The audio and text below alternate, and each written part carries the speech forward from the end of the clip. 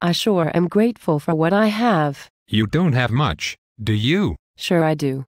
I have my health. I have good friends. I have a cozy apartment. Yeah, it is kind of small, isn't it? It's cozy and I like it and I'm grateful for it. Do you have a big badass stereo? No, and I don't want one. I have one, and I'm grateful for it.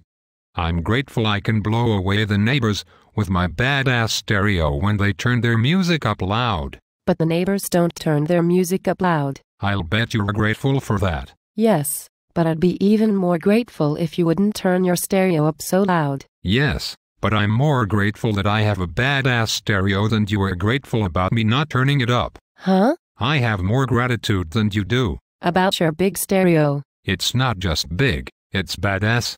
And I have a big badass car too. Well, I just have a bicycle, but it's all I need and I'm grateful for it. I obviously have more gratitude than you do. Huh? My gratitude is bigger than your gratitude, so I win. You win? Because my gratitude is bigger than your gratitude generally speaking, I get more and bigger stuff, and then I can be grateful for each item in particular, and it all just snowballs until I leave your sorry butt in the dust.